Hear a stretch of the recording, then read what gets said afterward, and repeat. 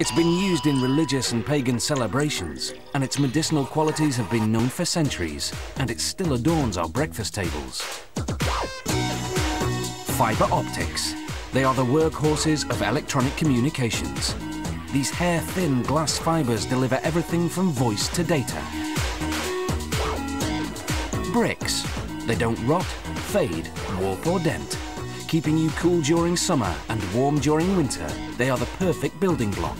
So how do you make the thing that makes things? And pipe organs.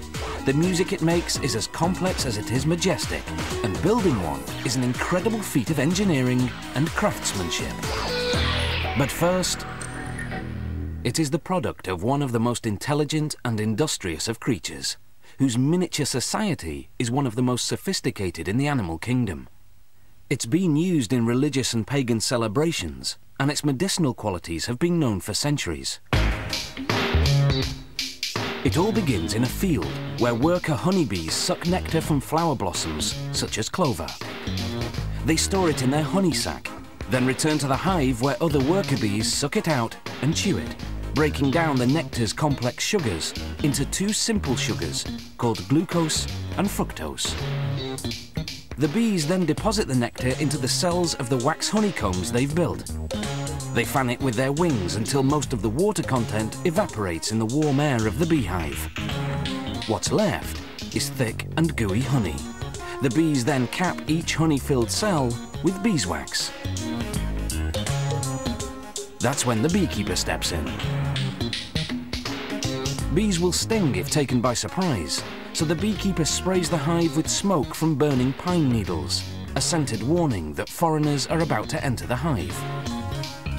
Inside the hive are wooden frames hanging side by side, each holding a honeycomb.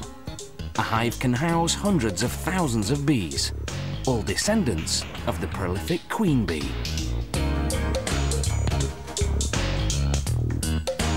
The queen bee lays up to 2,000 eggs per day, creating the workforce needed to feed and protect the colony.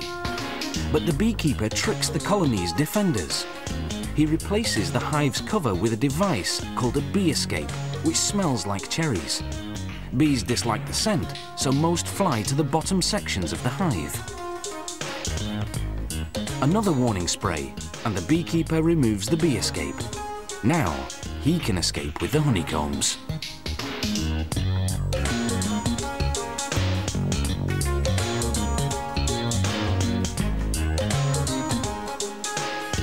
Inside the honey factory, they put the honeycomb frames on what's called an uncapping machine. Like a razor, it shaves off the wax caps of the honey-filled cells of the combs. They scrape off the remains manually. Then they set the frames on another machine called a honey extractor. It spins the honeycombs until all the honey is forced out of the cells. Afterwards, they filter the honey to remove any pieces of wax that have slipped through. Then the honey is ready for bottling. Some beehives contain smaller frames designed to produce honey that isn't extracted from the honeycomb. Workers remove the frame and cut the honeycomb into pieces with a heated knife. This seals the wax around the honey inside.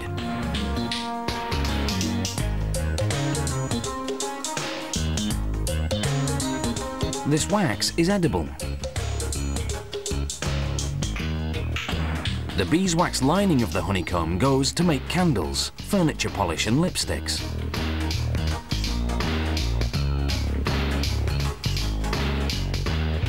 When producers have more liquid honey than they can sell, they simply let it granulate, where it develops sugar crystals that turn hard and white. Then when orders come in, they return it to its original liquid form by heating it to 130 degrees Fahrenheit. The jars are vacuum cleaned, then filled.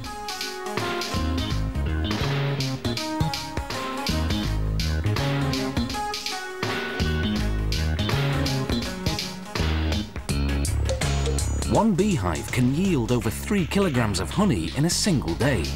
That's much more than the bees need for themselves. The surplus is what we end up eating.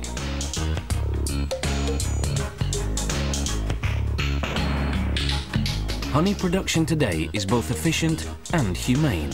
For centuries, the only way to harvest honey from hives had been to kill the bees. Then in 1851, an American beekeeper invented a way to get the honey yet spare the bees. His method, with the removable honeycomb frames, is the one we still use today.